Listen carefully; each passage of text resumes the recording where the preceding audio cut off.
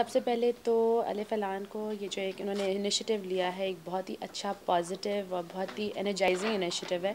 I hope जिस तरह हमें सीखने को मिला है। इसी तरह हम जो है अपनी अपनी कॉन्स्टिट्यूंसीज़ में जाके, अपने अपने स्कूलों में जाके, यही जो है वो ग्राउंड लेवल तक जाके वहाँ पे ट्रेन कर सकें, सिखा सकें, ताकि जो एक डिस्टेंस हो गया है बच्चों का किताबों से, उसके अंदर हम जो है वो एक ब्रिज बने इन और उम्मीद यही है कि अरफलान के साथ हमारे इस तरह के प्रोग्राम्स कंटिन्यू होते रहेंगे।